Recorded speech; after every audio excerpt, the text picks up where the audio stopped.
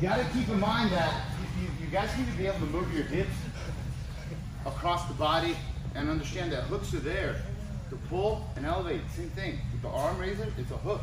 This hook pulls you in. Spear with stab. Look. Look. That this through here. Okay. And I'm gonna frame.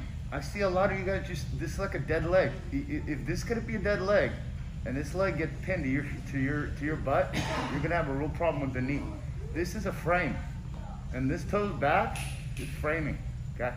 So from here, what I'm gonna do is I wanna lift my hip up and my head away, get the frame in, and I'm gonna scoot out and pull myself in. Look, frame, stick it out, So that frame.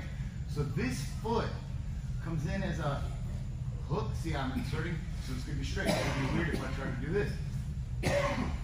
So here, okay, and I push him away a bit, so I pull this out. But look, I'll move this out, and I kept on driving in the same direction and still have this caught out right here. You'll probably bend it one way or the other. I could go here, on the side, and then from here, I go into my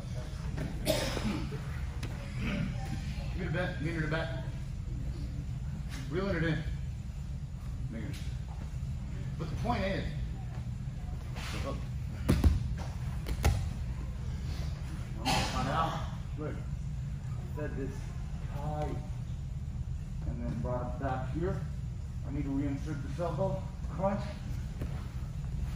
The frame it. Slid right back in. but push him away a little bit of space. This foot hooks right here. Okay. It's gonna be hard for me to sweep him with this foot, so I extend this a bit, move it out, come right here, and take him over. Okay. Last time.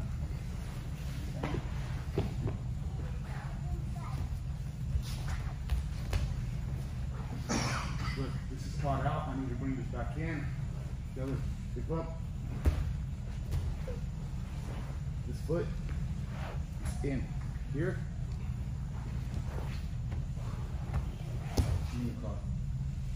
I can attack this arm here.